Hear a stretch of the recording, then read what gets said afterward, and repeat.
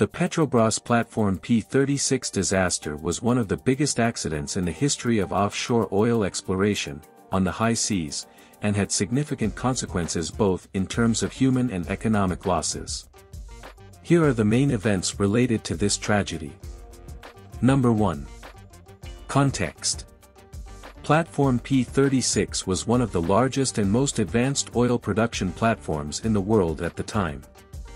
It was located in the Roncador field in the Campos Basin, an oil-rich region off the coast of Brazil operated by Petrobras, the Brazilian state oil company. Number 2. Explosion and sinking. On March 15, 2001, a series of explosions occurred on platform P-36. The explosions were caused by a gas leak and resulted in a massive fire aboard the platform. Efforts to contain the fire failed, and the platform was left on a dangerous slope. Subsequently, on March 20, 2001, the platform sank completely. Number 3. Casualties and Evacuation Fortunately, most of the workers aboard the platform were successfully evacuated before sinking. However, of the 175 people who were on board, 11 lost their lives as a result of the accident. It was a regrettable tragedy that had a significant impact on the families of the victims and on the Brazilian oil industry. Number 4. Causes of the accident. Investigations revealed that the accident on the P-36 platform was caused by a number of factors, including maintenance issues, failures in safety systems and inadequate supervision. The platform was undergoing maintenance at the time of the accident, and safety procedures were not strictly followed. There were also failures in internal communication, which led to a delay in the evacuation. Number 5.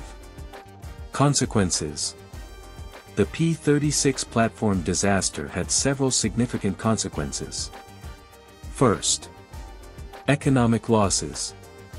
The loss of the platform represented a major financial loss for Petrobras.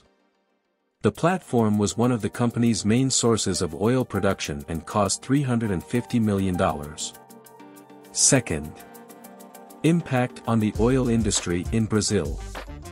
The accident resulted in a review of safety practices in the Brazilian oil industry.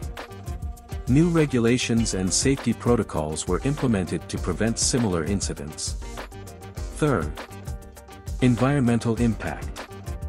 Although the P-36 platform was sunk in a deep ocean area, there were concerns about potential oil spills and associated environmental impacts. However, no significant environmental damage has been reported, even with a possible leak of around 1.3 million barrels of oil.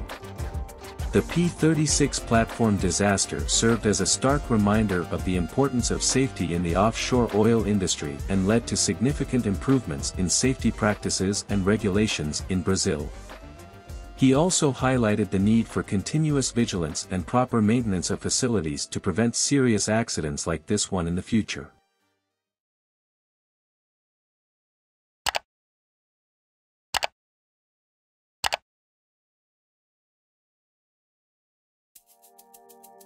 I invite you to watch our videos about the pre-salt layer and the history of Petrobras.